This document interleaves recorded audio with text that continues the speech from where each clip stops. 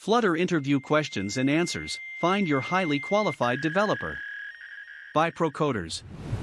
Asking the right Flutter technical interview questions of job candidates begins with a preliminary understanding of this tool as a software development platform. Indeed, as an employer who is going to interview candidates, you should have some technical idea of the development platform, and in this case, Flutter questions. List of the Flutter developer interview questions.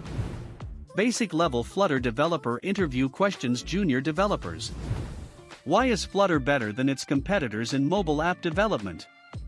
This should be a permanent fixture of any Flutter interview question and answer meeting, regardless of skill level.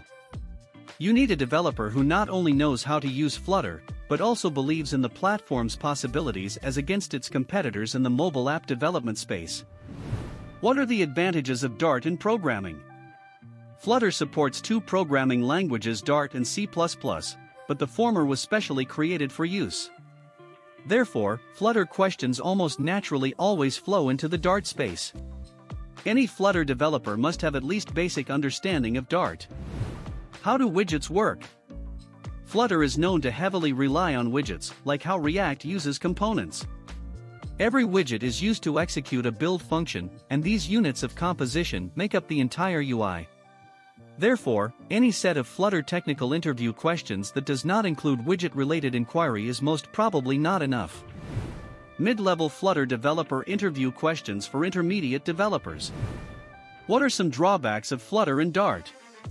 Indeed Flutter is a great platform for mobile app development. However, a smart and competent developer must know the limits of their tools and be able to produce great results within those limits.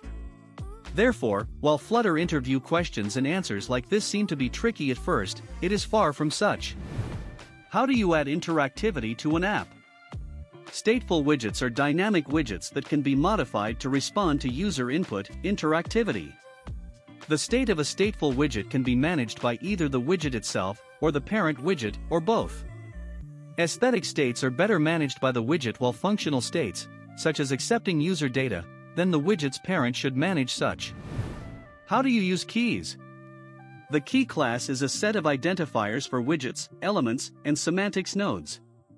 When widgets are modified within the widget tree, keys are responsible for preserving the state of those widgets. Collections of widgets that have an equivalent type and defined states can also be modified and reorganized using keys. What are the available build modes? There are three build modes, debug, release, profile. Each of the modes represents a stage in the development process.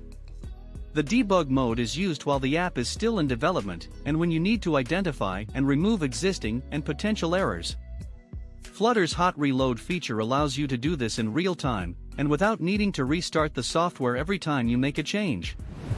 What is the build context? Widgets are created using the build method whose functionality is, in turn, defined by a corresponding build context argument. Basically, as its name implies, the build context class defines the context of a custom-built widget. What is widget testing? Basically, Flutter apps are subject to three main types of tests including unit tests and integration tests, as every competent developer must be familiar with. In Flutter, there is a third, widget test.